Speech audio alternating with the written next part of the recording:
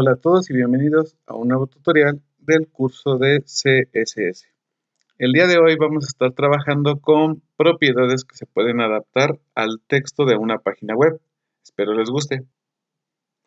Muy bien, entonces ya vimos lo que son las propiedades para las fuentes y ya vimos un poco de colores en cuanto a lo que es el fondo o color de letra de una página web. Ahora también tenemos ciertas propiedades que se pueden aplicar al texto. Dentro del texto vamos a tener seis básicas o seis que podemos ocupar en este tutorial, que va a ser Text Align, Text Decoration, Letter Spacing, Word Spacing, Text Transform y Text Indent.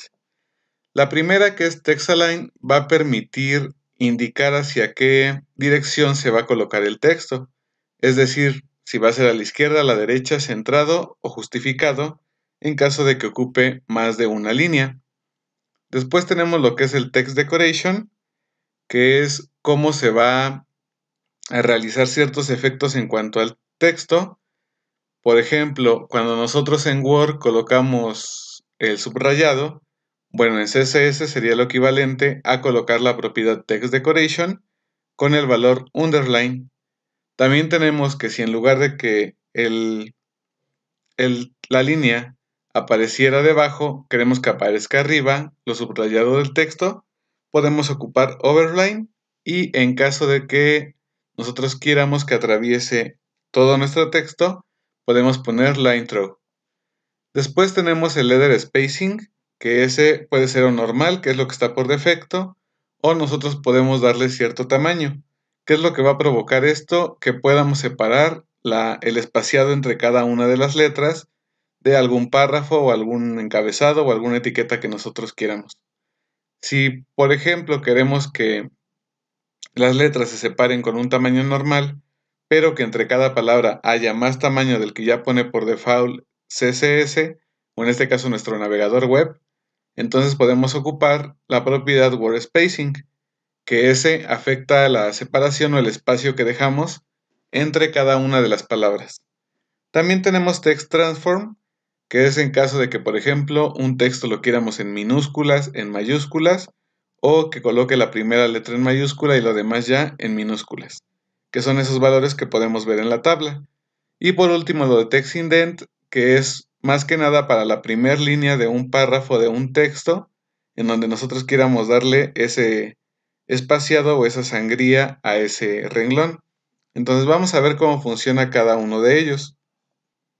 Entonces vamos a ir a nuestro documento, vamos a colocar las etiquetas básicas de HTML, le vamos a decir que el día de hoy vamos a trabajar con texto y vamos a crear, mm, van a ser yo creo que cuatro etiquetas, el H1, este es un texto,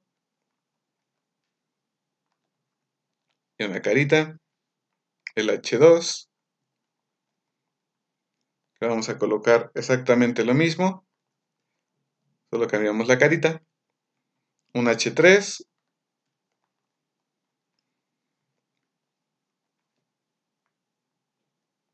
y por último vamos a colocar un párrafo.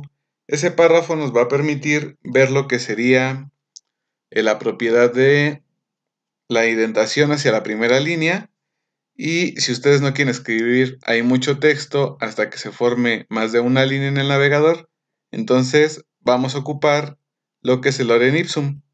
¿Qué es esto de lorem ipsum? Es simplemente un texto de relleno que precisamente, o en nuestro caso como ahorita diseñadores de la web, podemos ocupar para probar este tipo de estilos en las fuentes, colores, si nos gusta eh, algún, alguna fuente en especial, algún texto de, en alguna disposición.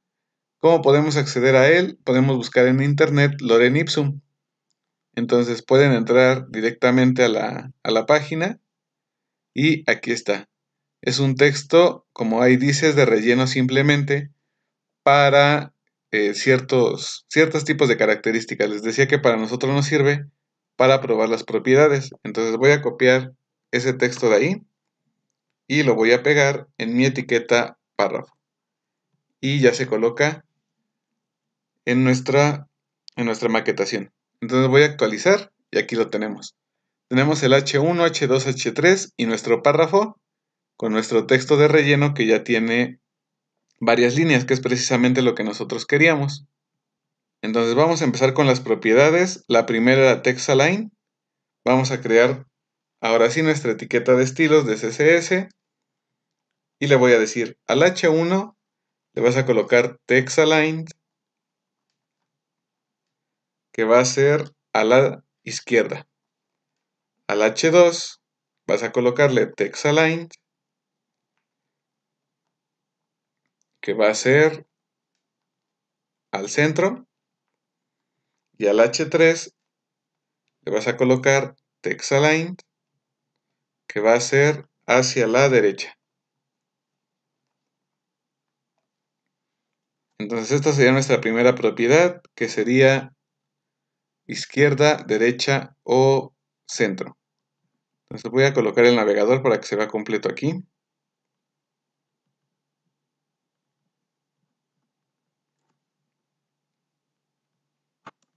Ya no me está dejando hacerlo más grande. Bueno, vamos a actualizarlo primero. Y después de una pelea con él para que no lo vieran, pues ya este ya lo pude hacer más grande. Entonces tenemos las tres las tres H's, en este caso le pusimos izquierda, centro y derecha.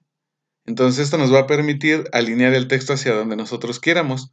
También esta propiedad de text align generalmente se puede ocupar si, por ejemplo, eh, no sé, dentro de una etiqueta article, tengo alguna imagen y también quiero que esa imagen sea centrada, si no ocupa todo el tamaño de, de mi etiqueta article.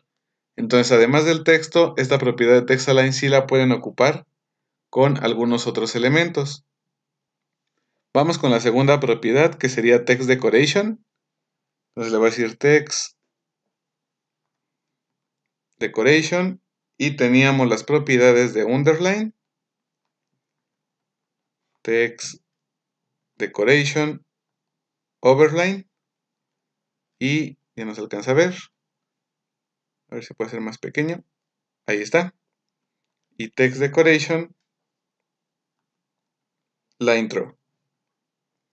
Entonces tenemos underline que sería subrayado, overline eh, como sobrelineado y la intro, que sería la línea a través del texto. Voy a actualizar mi página y aquí lo tenemos. Subrayado, línea arriba del texto y línea a través de nuestro texto. Entonces esa sería nuestra otra propiedad en caso de que ustedes quieran ocuparla precisamente para un encabezado o darle cierto estilo a algún, alguna propiedad o algún texto de su página web.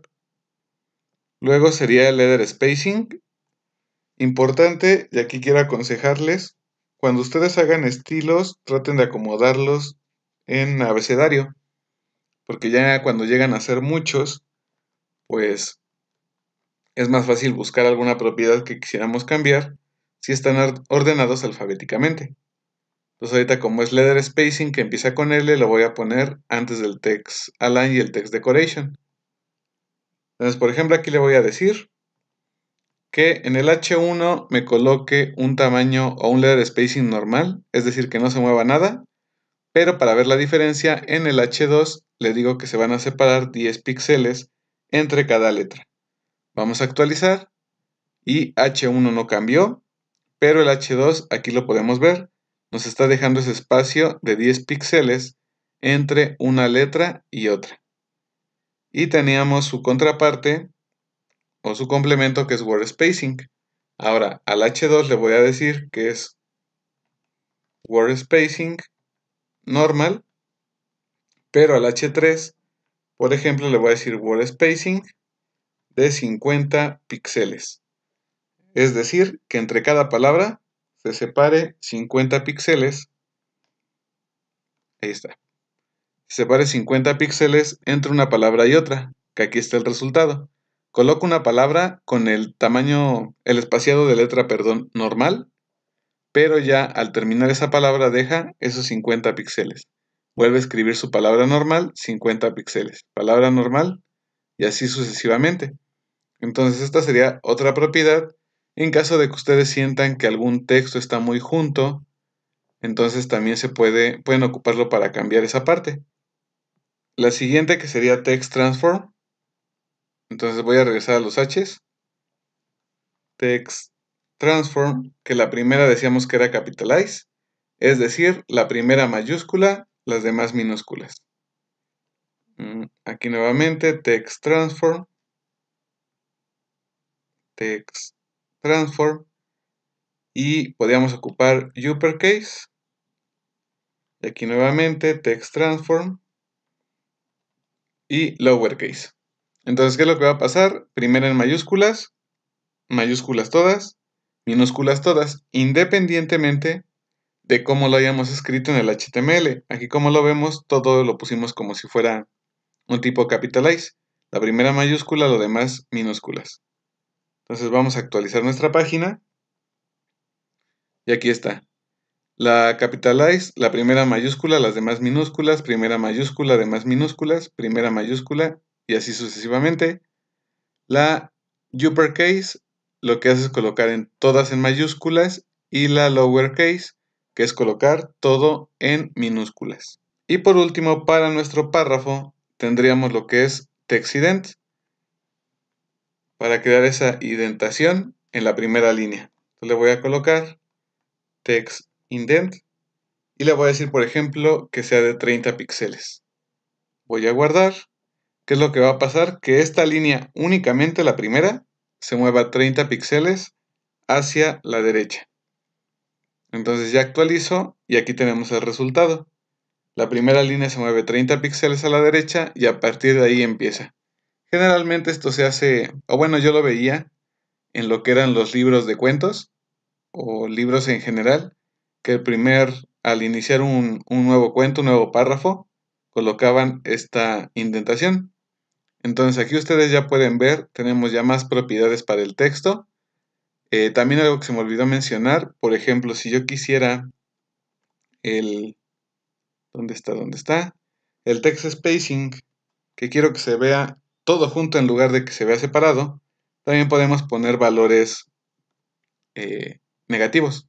Como yo ahí puse menos 2 píxeles, entonces lo sobrejunta, por así decirlo, más de lo que está por default al colocar la propiedad normal o el valor normal. aquí lo vemos, lo va juntando más a medida de que yo aumento esos valores negativos. Entonces ahí está hasta que se puede perder. Entonces ahí ya es cosa de que ustedes vayan probando las propiedades, que vayan jugando con los valores que, que puedan darle y que vayan personalizando ahora sí que su sitio web o su página web a su propio gusto. Entonces ya vamos tres tutoriales, yo espero les esté gustando más o menos esta dinámica. Recuerden que esto solamente es la parte introductoria. Una vez que ya tengamos el catálogo de propiedades en cuanto a colores, formas, texto, fuentes, etc., entonces ya vamos a poder pasar a ejercicios prácticos como crear un menú, crear una galería y cosas de ese estilo que ya pondrá en funcionamiento todo lo que hemos aprendido a través de estos tutoriales un tanto teóricos. Sin embargo, pues también ustedes ya pueden ir ahí jugando con las propiedades o ir uniendo lo que ya llevamos en, los diferentes tutoriales. Ahorita ya podrían crear diferentes fuentes, poner diferentes colores y ocupar estas propiedades del texto que vimos el día de hoy. Recuerden, si les gusta, no olviden darle like, ahora sí que, aunque parezca comercial, o comentarlo. Eh, también si pueden invitar a sus amigos, compañeros que les guste la programación, la maquetación, el diseño web o programación de cualquier tipo. Eh, si los pueden invitar al canal, recuerden que tenemos una meta de ser o de llegar a conseguir los 100 mil suscriptores. Entonces, pues esto es para ustedes. Yo espero les guste, espero esté ayudando a aumentar las habilidades que tienen como programador o diseñadores. Y hasta aquí el tutorial de hoy. Mi nombre es Jesús Becerril y nos vemos en la siguiente ocasión.